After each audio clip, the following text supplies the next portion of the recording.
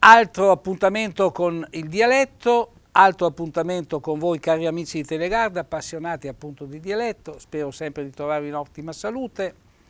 Oggi lasciatemi salutare due cari amici, è l'Elsa e l'Alfredo Spezia di via Fossa Grande, sapete la parte vecchia insomma di Arco. Ma i saluto perché quando mi vede, me, appunto dice che mi guarda sempre, insomma, ma dopo mi piace ricordare l'Alfredo, perché l'Alfredo è quel signor, pensa un po', che sta a premiare, chi nell'Alto Garda, le sta a premiare, sapete per cosa? Perché tutti i dì, siccome sotto sua casa, lì in via Fossa Grande, come l'esce dal cancello, i games dell'isola ecologica con tutti questi depositi no, per il vetro, adesso quel, vi ricordo che bisogna mettere il vetro nella banda, non può più metterlo con la plastica. No? un certo tipo di vetro, quindi ne imparare, ma Telegarda ogni tanto ve lo spiega. Beh, l'Alfredo vai fuori dal suo cancello, scoa, eh, sgranera, paletta e tennetà tutta l'isola ecologica, che se voi ne lì, veramente se poi si poteva quasi mangiare la polenta in terra da come l'è net. E allora cosa hai pensato? Chi gli fa un premio, per, per appunto un premio di carattere ecologico, ambientale, e gli ha dato il premio, gli ha dato il diploma, non so se qualcos'altro, comunque gli ha il premio perché veramente è un'isola ecologica che vale la pena, se voi passi su a Pepperna, su al parco arziducale, fermetevi sulla sinistra e vedrete questa isola ecologica che è netta come un pom, eh? netta come un pom. Dopo che ben qualche Duni che fa il furbo, no ma allora l'Alfredo l'interviene che dice eh no, eh? e quindi li mette tutti in riga. Quindi saluti alla Elsa e all'Alfredo Spezia. Però a questo punto devo ringraziare anche la Luigina Lorenzi, la Luigina Lorenzi de Torbole, quella pittrice che ho avuto ospite, che ha spiegato eh, come nasce le sue opere e quindi interessante perché veramente la ne fa entrare nel mondo così, non dico sconosciuto, ma strano, misterioso della nascita delle opere d'arte. Ecco, la Luigina Lorenzi, non la mamandà in quadro, no?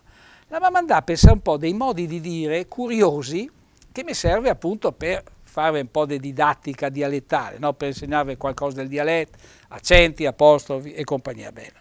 Adesso ve le leggo. Il titolo potrebbe essere Ecco come insegnava le mamme di una volta. Quindi ecco come insegnavano, educavano le mamme di una volta. Primo insegnamento. Ti insegnavano il rispetto per il lavoro degli altri. Sentite che esempio ci dà se gaveda coparve ne foran del spiaz che ho appena età. Quindi pensate un po'. Quindi rispettate il lavoro della mamma che ha appena pulito, quindi se vuole coparve ne foran nel piazzale che ho appena età nella casa. Ma ti insegnavano anche a pregare le mamme di una volta. Prega Dio di non aver sporcato il tapè. Prega Dio di non aver sporcato il tappeto. Pensate un po' ma ti insegnavano anche la logica, perché te l'ho detto mi e mo che la lì. Quindi, siccome te l'ho detto io, non c'è da ragionarci sopra, quindi perché te l'ho detto io e piantala lì. Bello questo termine mochela lì, eh? mochela, piantala. Quindi ti insegnavano la logica in questo modo. Ma ti insegnavano ad essere previdente. Guarda de gaver le mudande nete non si sa mai che te fessi un incidente e i gabbia da visitarte. Bella questa qua, quindi sempre le mudande nette, la diceva la mamma. Quindi la mamma era una donna previdente. Ma le mamme di una volta ti insegnavano l'ironia. Prova a ridere che dopo te fago piangermi. Bella questa qua, quindi prova a ridere che dopo ti faccio piangere io. Poi ti insegnavano a fare cose impossibili serra la bocca e magna, quindi chiudi la bocca e mangia, come se faga a mangiare con la bocca serrata non si sa, comunque le mamme le ti insegnavano a fare queste robe qui impossibili, serra la bocca e magna. Ti insegnavano il contorsionismo, ad vist che te sei sporco de dre al col, ecco, come se faga a girare la testa per vedere se dre al col, però ti insegnavano anche questa. Ti insegnavano la resistenza, finché non ti hai finito di mangiare, te resti sentata a tavola. quindi bella anche questa qua, quindi bisogna resistere, quindi finire di mangiare e quindi rimanere seduti a tavola. Ti insegnavano il ciclo della natura, guarda che come t'ho crea tedesco, guarda come t'ho fatto nascere, ti distruggo, quindi il ciclo della natura, nascita e morte.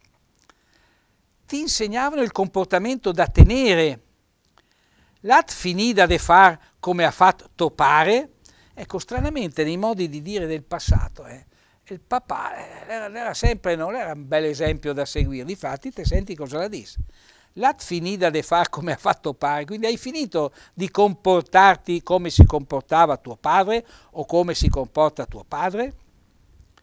Poi avevano preso le mamme di una volta, ti aumentavano l'autostima. Non te sei sì stupido, ogni tanto te che veni fuori, quindi non sei proprio così stupido ogni tanto ne esci bene, quindi ti crea un'autostima, ti facciamo credere veramente di essere capace.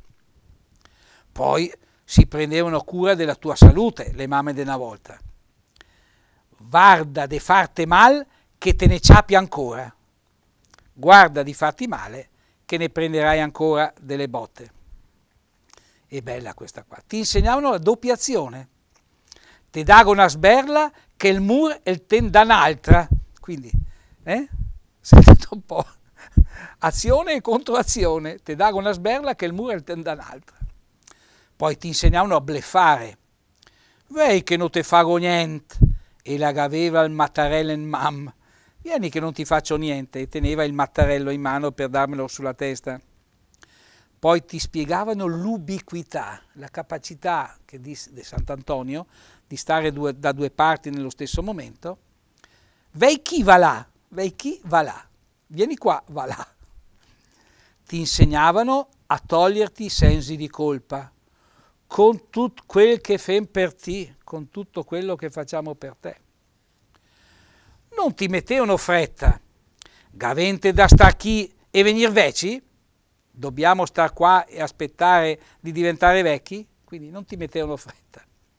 E poi l'ultimo, ti spiegavano la concezione del tempo. Va piam e vai prest. Quindi va piam e vai prest. Sentite, quindi questi bei modi di dire che mi ha mandato Luigina Lorenzi, che, che ringrazio e che saluto naturalmente. Bene, fatto questo appunto siparietto sugli insegnamenti delle mamme della volta, adesso attenzione a alcune precisazioni fonetiche. Entro in una parte didattica che mi interessa sempre presentare. Voi vedrete naturalmente quello che sto dicendo eh, sul teleschermo. Partiamo dal verbo godere in italiano, goder o godere. E vi faccio un esempio in italiano per capire cosa cambia fra italiano e dialetto. Mi piace godere o mi piace goder il tramonto del sole.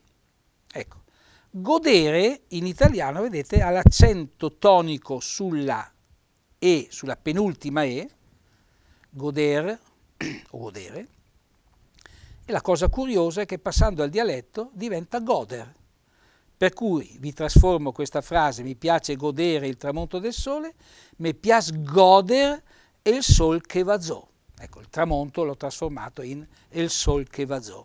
Quindi mi piace godere, non mi piace godere mi piace godere. Ecco, qualche tempo fa ho assistito alla lettura di alcune poesie dialettali dove c'era questo verbo goder e purtroppo i lettori dicevano goder nella forma italiana. Ecco, invece, attenzione, mi piace goder il sol che vazò. Altro esempio, vedere o vedere in italiano è un po' stessa, lo stesso discorso. L'accento è sulla penultima E, vedere, vedere, vedere. Quindi mi piace vedere o vedere il tramonto del sole. In, dialetto è come goder, goder. Veder, non veder, veder diventa in dialetto. Allora trasformo questa frase in, in italiana in dialetto. Mi piace veder il sol che vazò, non mi piace vedere. Quindi mi raccomando, goder in dialetto, veder in dialetto, godere in italiano, vedere in italiano. Ancora un esempio, a vederli che giocano mi fa piacere.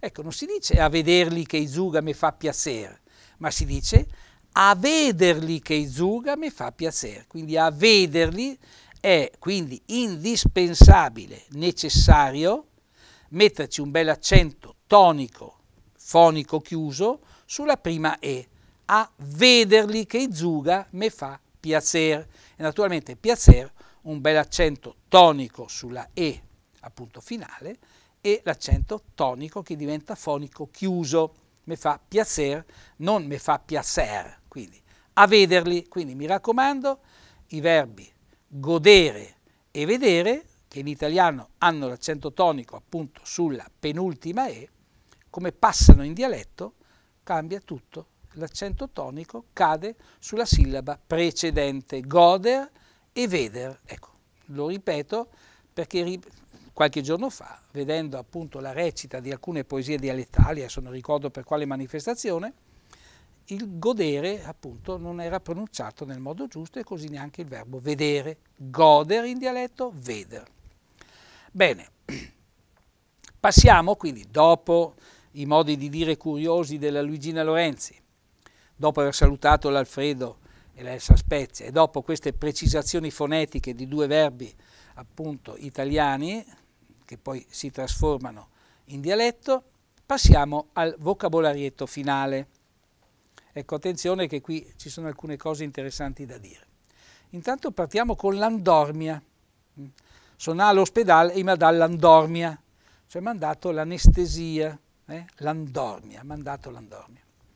La bavesela, ecco la bavesela, Elio Proc l'altro giorno appunto mi ha fatto notare che questo termine non l'ho ancora mai citato, allora lo cito perché guardate che finora siamo ormai, abbiamo superato le 120 puntate e sicuramente abbiamo detto, penso ormai, più di 600 vocaboli dialettali. Quindi ha notato che Bavesela, che è l'arietta, il venticello, non l'avevo ancora detto.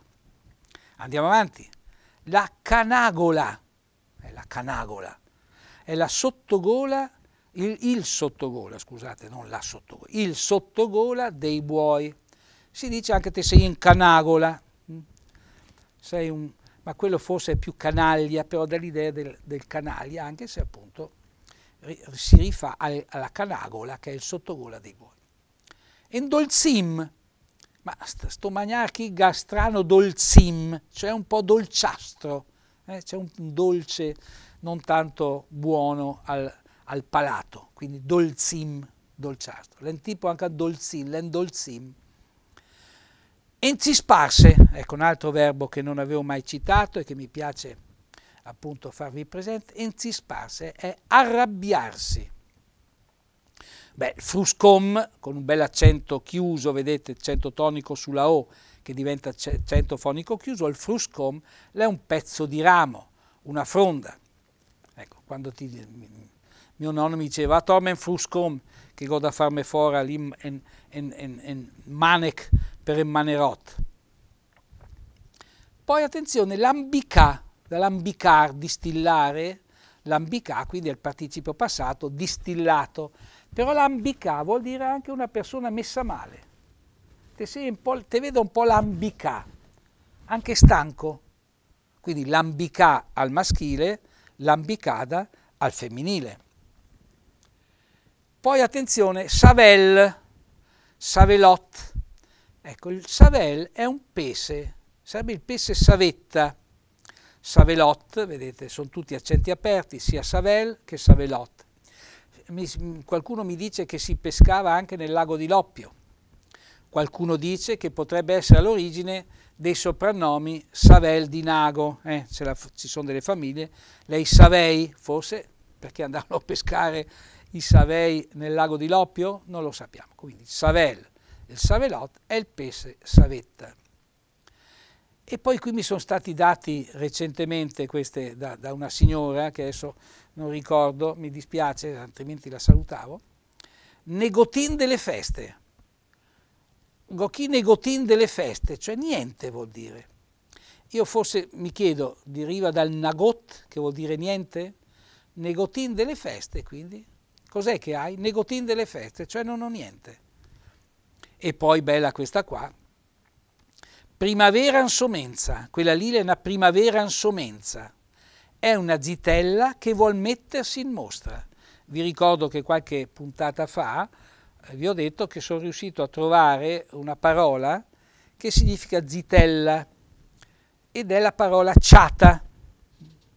Ciata, mentre in chat è maschile, ma al maschile dicono barba, comunque ciata sarebbe la zitella. Ma la zitella che vuol mettersi in mostra, quindi che non si accontenta della sua situazione di zitella, che fa, come viene detta? La primavera ansomenza, cioè la primavera che è in ansomenza, pensate un po'. Quindi con la primavera ansomenza, con la zitella che vuol mettersi in mostra, direi che anche oggi abbiamo finito. Vedete una puntata anche questa abbastanza veloce, varia però nel suo, appunto, nel suo contesto. Naturalmente spero che abbiate sempre imparato qualcosa di nuovo. Vi aspetto naturalmente alla prossima puntata, vi ringrazio e vi ricordo che non è mai troppo tardi per imparare il dialetto. Ciao e arrivederci.